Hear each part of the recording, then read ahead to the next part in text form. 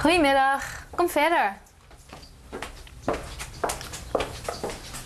Nou, dit is onze tuin. Dit zijn mijn ouders. Hallo. Nou, gaan we naar mijn kamer. Kom maar verder.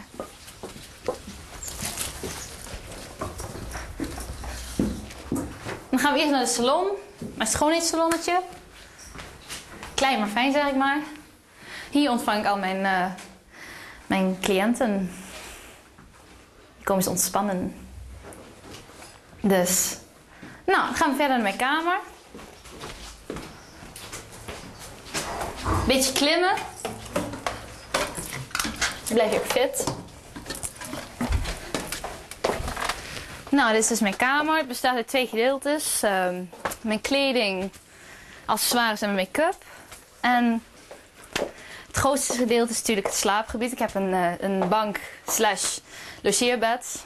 Eh, mijn favoriete muziek, nou dat kan ik eigenlijk wel laten zien. Want ik heb één groot voorbeeld al vanaf dat ik klein was. Iedereen had vroeger eh, Britney Spears of, Jennifer Lopez als groot voorbeeld. En ik had altijd No Doubt als voorbeeld.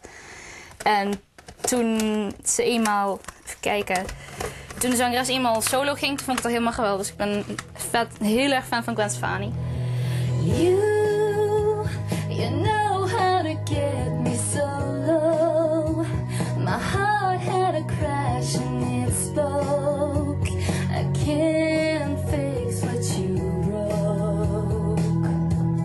Van de Academy verwacht ik nou, ehm, ja, gewoon dat ik een hoop eh, ervan opsteek. Een hoop lessen waarvan ik veel zal leren. Eh, vooral de podiumpresentatie, dat kan bij mij altijd echt stukken beter. Dus ja, dat, dan hoop ik dat daar eh, veel uitkomt. Veel informatie, veel eh, tips.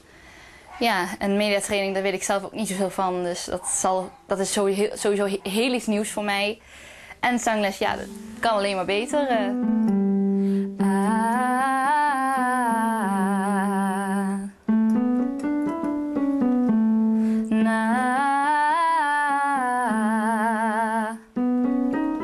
Ik gebruik het. Ja, het enige wat ik doe op de keyboard is zeg maar inzingen en eh, ja, af en toe wel eens oefenen.